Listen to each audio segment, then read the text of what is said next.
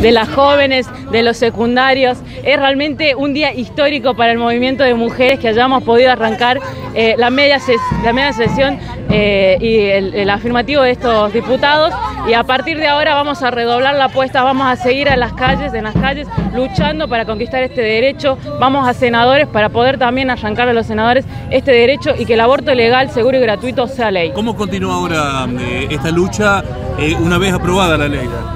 Una vez aprobada la ley, vamos a tener que seguir luchando contra un sistema, contra unas políticas eh, nacionales que financian la educación, a la salud, que eso sabemos que es así, pero sabemos que es un granito de arena, es un paso más dentro de la lucha y arrancarle ya una ley a un gobierno tan reaccionario como el de Mauricio Macri ya es un paso tremendo. ¿Sentís que ha crecido la sociedad argentina para poder Sí, la verdad que sí. Y se ve en las calles, se ve eh, cómo las, las mujeres, todas tenemos un acompañamiento, se ponen el pañuelo verde, van al trabajo, van a sus lugares de eh, estudio con el pañuelo verde. Hay un acompañamiento tremendo por parte de la gente. La gente y el pueblo exige la legalización del aborto y eso los diputados, los funcionarios, los senadores no tienen que desoír. Por eso es que vamos a, seguir en eh, vigilia hasta que el aborto sea ley. Ahora, ¿tienen ustedes digamos, ya conversaciones con, con los senadores? Digamos, ¿Cómo piensan que va a estar el panorama en la Cámara?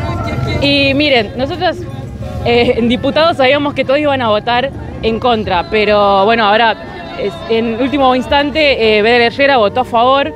Eh, sabemos que todo puede pasar si es que nos movilizamos y hacemos la presión social en las calles y eso es lo único que nos va a garantizar de alguna manera que voten a favor de la legalización del aborto. Por eso es que es muy importante que sigamos manifestándonos, sigamos en las calles, copando la plaza. Ayer fue una vigilia hermosísima con bandas, con eh, radio abierta, muchísimas chicas y chicos de secundarios, de toda la, de, toda la provincia que se acercaron a eh, decir sí al aborto. Así que creemos que eh, los funcionarios, los representantes que están en Congreso no tienen que desoír la, la voz del pueblo que le está exigiendo el derecho al aborto legal, seguro y gratuito.